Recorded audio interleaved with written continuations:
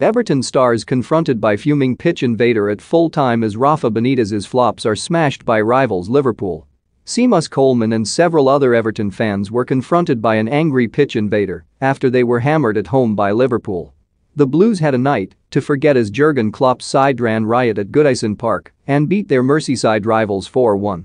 That result piled even more pressure on Toffee's boss Rafa Benitez with many supporters leaving early as their team crumbled away on the pitch.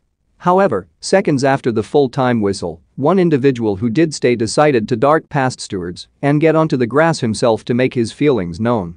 Midfielder Anthony Gordon, 20, came face to face with the male before Seamus Coleman and Abdoulaye Doucouré came over to their young teammate. The man continued to vent his fury at the players for several seconds as other supporters also attempted to encroach on the pitch as stewards eventually managed to restore order.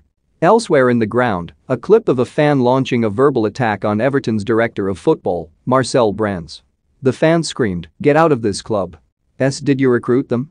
Free bets, get the latest betting sign-up offers and free bets Brands, who was exiting the director's box, then appeared to ask, is it only the players? Before the fan hit back, it's everyone,